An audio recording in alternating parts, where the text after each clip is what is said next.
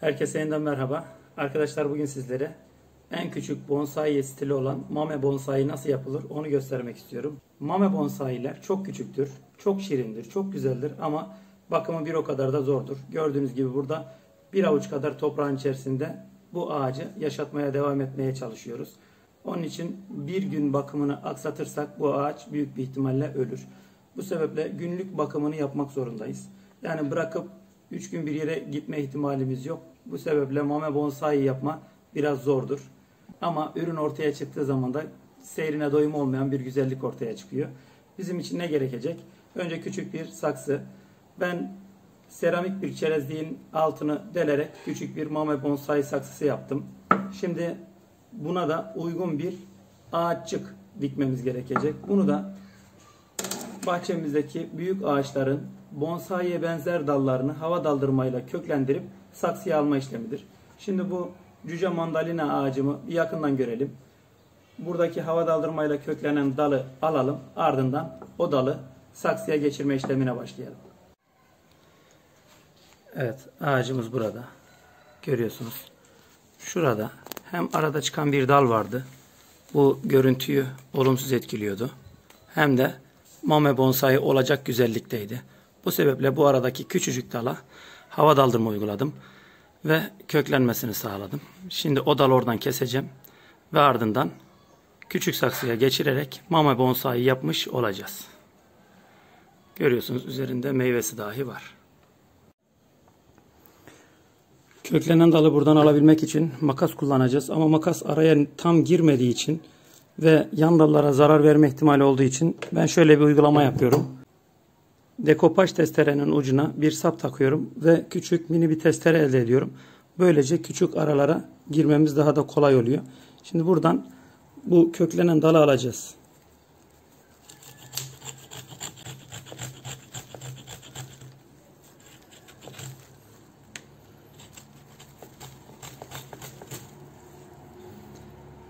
Evet gördüğünüz gibi yan dallara zarar vermeden tam ortadaki dalı küçük mini testereyle rahatlıkla aldık. Köklendirdiğimiz küçük cüce mandalina dalı burada. Şimdi hava daldırma için uyguladığımız sargıları çözüyoruz. Ve köklere zarar vermeden mini saksıya geçirmeye çalışacağız.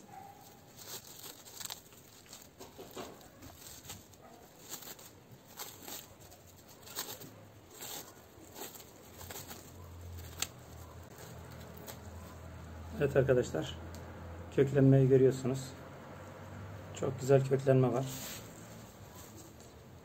Şimdi saksıya geçirme işlemini daha yakın plandan anlatmak istiyorum. İlk önce saksımızı ayarlayacağız. Bunun için önce şöyle küçük teller kesiyoruz ve bu teli tam ortadan V şeklinde büküyoruz.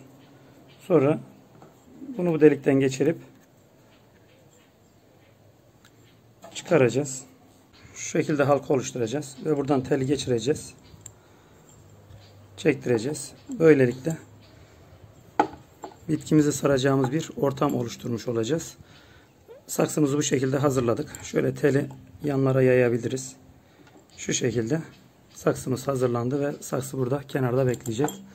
Şimdi bitkimizi çok fazla zedelemeden, köklerine zarar vermeden çıkarmaya çalışalım. Bakın şurada destek olması için tel sarmışım. Onu kesiyoruz.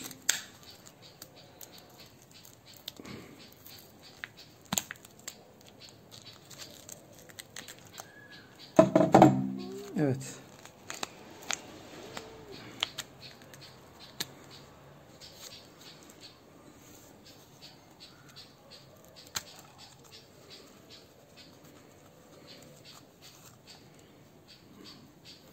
Görüyorsunuz. Kökler gayet güzel. Şimdi toprağın fazlasını sıyırabiliriz. Kökleri tamamen açıkta bırakmamak faydalıdır her zaman. Kök oluşturmayan kısma kadar topraklarını sıyırıyoruz.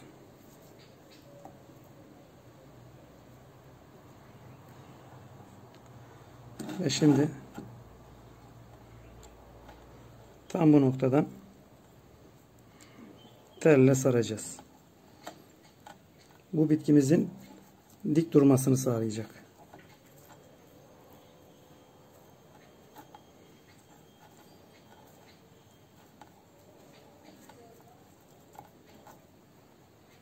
Evet. Kökler görünmeye başladı. Altta köklenmeyen kısmı kesip almamız gerekiyor. Çünkü saksımıza sığmadı.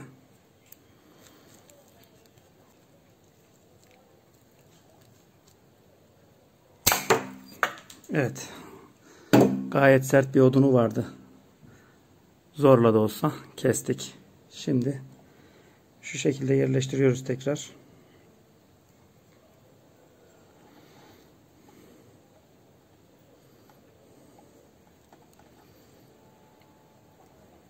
Ve telimizle tutturacağız.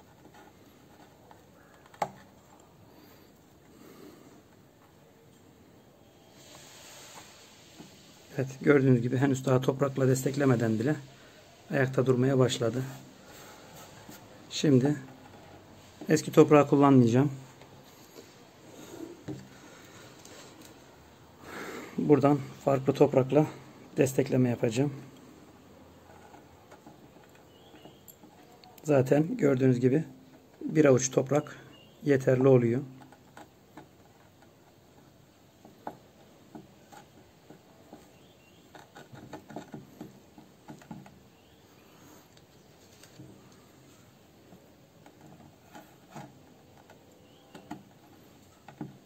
Evet. Bu kadar yeterli. Mame bonsai'niz tamam. Gelecek yıl bunun mandalina verdiğini düşünün.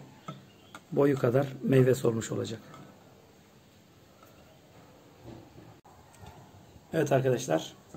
Küçük cüce mandalinadan mame bonsaimizi yaptık. Adettendir. Mutlaka can suyu verilir. Zaten toprağı nemli ama çok hafif.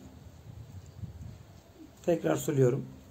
Dediğim gibi bu işlemi her gün yapmamız şart.